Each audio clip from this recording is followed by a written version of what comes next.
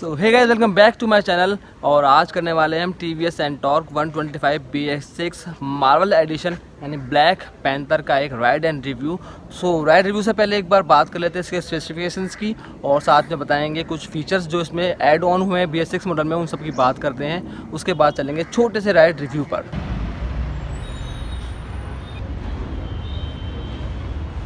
So start करते हैं इसके। पहले हम फ्रंट व्हील से फ्रंट में आपको मिल जाता है इसमें एक ट्वेल्व इंचेस का अलॉय व्हील साथ में आपको मिल जाते हैं। सौ बटा अस्सी का फ्रंट टायर जो है 12 इंचेस का, साथ में आपको मिलता है इसमें telescopic front fork with damping system, यानी कि आपकी राइड बहुत ज़्यादा कंफर्टेबल होने वाली है इसके बाद। ब्रेक्स में आपको मिलता है इसमें 220 ट्वेंटी mm का एक डिस्क ब्रेक, जो काफ़ी अच्छा है। ये पेटल डिस्क ब्रेक है, गर्म भी नहीं होती है डिस्क प्लेट इसकी वजह से। सो ये काफ़ी अच्छा फीचर इसमें दिया गया है। तो फ्रंट में आपको सबसे ऊपर मिल जाते हैं दो इंडिकेटर जो एलईडी नहीं है, लेकिन फिटिंग बहुत प्यारी है और लुक बहुत प्यारा देते हैं। इससे नीचे आए तो आपको एवेंजर्स की एक यहाँ पर लोगो मिल जाता है और थोड़ा नीचे आएँगे तो आपको मिलता है फ्रंट में फुल्ली एलईडी हेडलाइट साथ में डे टाइम रनिंग डीआरएल इसके अलावा आपको साइड में मिल जाएगा सुपर स्क्वायर एडिशन का एक लोगो बहुत प्यारा, साथ में आपको ब्लैक पैंथर का लोगो मिल जाएगा यहाँ पर। अगर बात करें लेफ़्ट साइड की तो यहाँ पर एक एंटोर की बैजिंग दी गई है। इसके अलावा यहाँ पे लिखा हुआ आर टी एफ़ आई यानी race tune fuel injection system इसके अंदर है, जो स्कूटी की परफॉर्मेंस को और ज़्यादा इनहेंस कर देता है। सो नीचे की तरफ़ आपको मिल जाती है टीवीएस रेसिंग की एक बैजिंग अगर बात की जाए इसके ग्राउंड क्लियरेंस की तो वो है 155 mm जो सिटी के लिहाज से काफ़ी अच्छा है। अगर बैक साइड की बात करें तो यहाँ आपको मिल जाता है टीवीएस एंटोर का एक थ्री लोगो वन सीसी जो इंजन की जो परफॉर्मेंस है वो यहाँ लिखी हुई है। इसमें आपको मिलता है वन सीसी का air cooled B S six compliant engine जो देता है 9.3 पीएस की पावर और 10.5 एनएम का टॉर्क आपको ये प्रोड्यूस करता है, जो परफॉर्मेंस काफ़ी अच्छी होने वाली है। इसके अलावा आपको पिलियन के मिल जाते हैं फुट रेस्ट जो काफ़ी खूबसूरत दिखते हैं और साइड में एक और फुट रेस्ट मिल जाता है जो हाँ फीमेल्स अक्सर यूज़ करती हैं, ये काफ़ी अच्छा है। सो एक बार आपको मैं इसकी डिग्गी और फ्यूल टैंक का जो इनलेट है वो कैसे ओपन होता है वो आपको बता देता हूँ मैं। ये लेफ़्ट करेंगे तो फ्यूल टैंक हमारे इस तरह से ओपन हो जाएगा। और जो इसकी फ्यूल टैंक की जो कैपेसिटी है वो है 5.8 लीटर जो काफ़ी अच्छी है और आप इसके ऊपर लॉन्ग राइड्स भी आसानी से कर सकते हैं।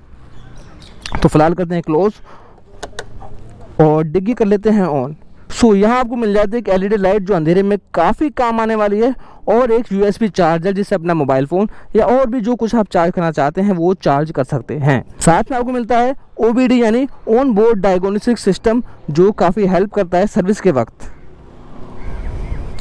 इसके अलावा इसमें अंदर काफ़ी सारा स्पेस है। मैं आपको कुछ सामान है, निकाल कर दिखा देता हूँ। इसके अंदर आप हेलमेट और उसके अलावा अपना कुछ भी सामान रख सकते हैं। काफ़ी स्पेसियस ये जगह आपके लिए होने वाली है।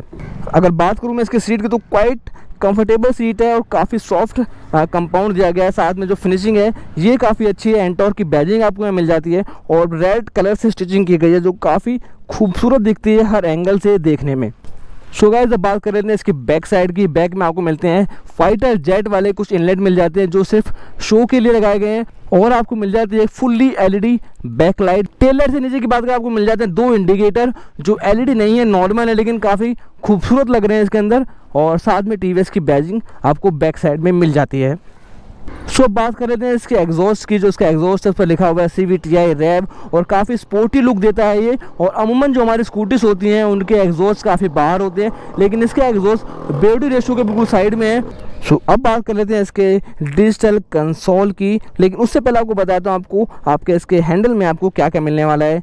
यहाँ आपको मिल जाता है पार्किंग हैजर्ड लाइट जो स्कूटीज़ में नया दौर शुरू हुआ है, उसमें सब में आने लगी है। ऊपर मिलता है आपको किल स्विच बटन नीचे सेल्फ का स्विच है। और यहाँ आपको लो बीम और हाई बीम का सिस्टम मिल जाता है। ये इंडिकेटर्स है। और यहाँ पर हॉर्न जो बटन के आसपास का हिस्सा है, वो भी बिल्कुल कार्बन फाइबर बॉडी की तरह बनाया गया है, लेकिन ये प्लास्टिक में ही है और काफ़ी अच्छा लुक भी दे रहा है। सो मीटर में आपको मिल जाते हैं ऑप्शन यहाँ पर दो स्विच मिल जाते हैं, एक मोड का और एक सेट का। इससे पूरा ये मीटर है, वो चलता है, यानी कि हम इससे सेटिंग कर सकते हैं। जब आप एक ऐप होगी जो टीवीएस की, उससे इसे कनेक्ट करेंगे। काफ़ी सारे फ़ंक्शन मिल जाते हैं जो आपको बताता है हर एक चीज़ के बारे में। तो सबसे पहले बात कर लेते हैं इसके राइडिंग मोड्स किसमें आपको मिलते हैं। स्पोर्ट्स मोड और स्ट्रीट मोड और राइड स्टेट मोड आपको तीन मोड कंपनी प्रोवाइड कराती है। इसके अलावा ये आपको ब्लूटूथ कनेक्टिविटी का ऑप्शन देता है। इसमें आप इनकमिंग कॉल मैसेज अलर्ट और लास्ट व्हीकल पार्क की इन्फॉर्मेशन भी आप इसमें देख सकते हैं। साथ में आपको एक लोगो भी मिलेगा नीचे जो आपकी फ़ोन की बैटरी और उसका सिग्नल भी दिखाएगा। इधर आपको मिल जाता है फ्यूल की कैपेसिटी आपका फ्यूल टैंक में कितना फ्यूल है, ये आपको बताया था साथ में आपको हीट एंड कूल लेवल भी इसमें मालूम पड़ जाता है। इधर ट्रिप मीटर है इसका, इधर टाइमिंग आपकी आती है और यहाँ पे आपका ऑडियो मीटर है और ये आपका मेन स्पीडोमीटर जो काफ़ी बड़ा है और काफ़ी अच्छा दिखाई दे रहा है। किलोमीटर पर आवर में आपको इसकी स्पीड मिल जाएगी जो इंडिया में चलती है।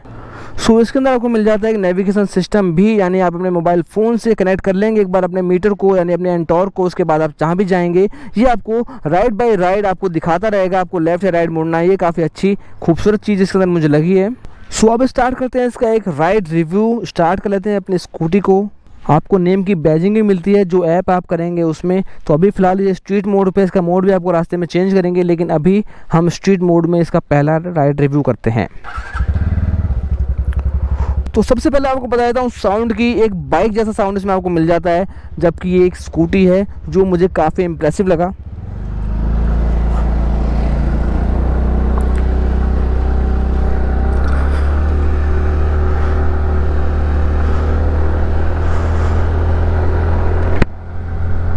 सो गाइस स्ट्रीट मोड में भी काफ़ी अच्छी पावर मुझे देखने को मिल रही है।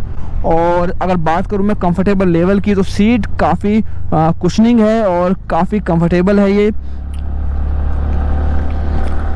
और अगर बात करूँ पैर की तो काफ़ी स्पेस है मेरे आगे। आप देख सकते हैं काफ़ी स्पेस यहाँ बचा हुआ है। इस तरह कुछ ढकी हुई नहीं है, पूरा ओपन है, जो एक स्पोर्टी लुक दे रहा है, काफ़ी अच्छी मुझे इसके अंदर। सो अगर बात करें हैंडलिंग की तो काफ़ी अच्छा और शॉर्ट हैंडल है और मेरे हैंड्स भी काफ़ी अच्छे फिट आ रहे हैं। जैसे मैंने एक्सिस में आपको बताया था लास्ट रिव्यू में, उसकी हैंडलिंग भी कुछ ऐसी ही थी और लगभग सेम हैंडलिंग है दोनों की इनकी। एंटॉर्क में जो तीन मोड दिए हैं स्ट्रीट स्पोर्ट्स और राइड मोड, इनका इसकी परफॉर्मेंस पर कोई फ़र्क नहीं पड़ता। यानी इनकी टॉप स्पीड पर कोई लेना देना नहीं है इन मोड से।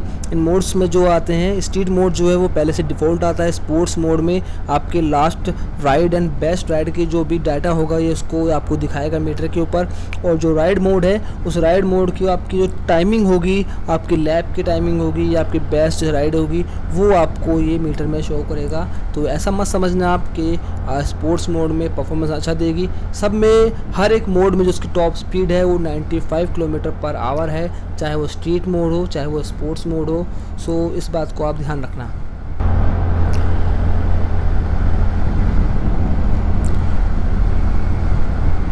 अगर बात करूँ मैं फुट स्पेस की तो काफ़ी अच्छा स्पेस आपको देखने मिल रहा है। आप बिल्कुल टो तक पैर यहाँ रख सकते हैं और एक ग्रिप बनाई हुई है पैर रखने के लिए स्पेशली जो काफ़ी इम्प्रेसिव मुझे लग रही है। सो एक बार अब इसका टर्निंग रेडियस हम देख लेते हैं कि कितनी छोटे टर्न में ये मुड़ सकती है। तो पहले देख लेते हैं, पीछे कोई याद हो नहीं रहा और रोड खाली है। सो टर्निंग रेस तो काफ़ी अच्छा है, आप एक छोटे से मोड में इसको मोड़ सकते हैं। तो ये भी काफ़ी अच्छी चीज़ मुझे लगी। ब्रेक भी काफ़ी इंप्रेसिव हैं और काफ़ी अच्छा काम कर रहे हैं। सो गाइज़ ये था राइड रिव्यू और मुझे कुल मिलाकर स्कूटी काफ़ी अच्छी लगी इंप्रेसिव लगी स्पेशली इसके रंग जो थे। फ़िलहाल करते हैं इसको ऑफ़